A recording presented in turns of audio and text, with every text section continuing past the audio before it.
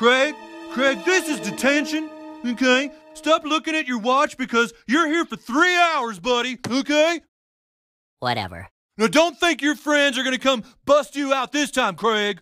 My name is Feldspar, and I'm a level 6 thief, and the humans will soon rescue me from this tower. No, your name is fucking Craig Tucker and you're in detention. Now start doing your homework. Okay, I've got all the doors sealed and I've got hallway monitors working overtime. Nobody's gonna save your ass today, Craig, okay?